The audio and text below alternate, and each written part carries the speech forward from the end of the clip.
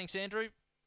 As we close off the program at Ipswich tonight, so 225 Topaz Blue from the inside runs the favourite, but a few with a chance here in our last event. Last few move up, green light about to be switched on. There it is.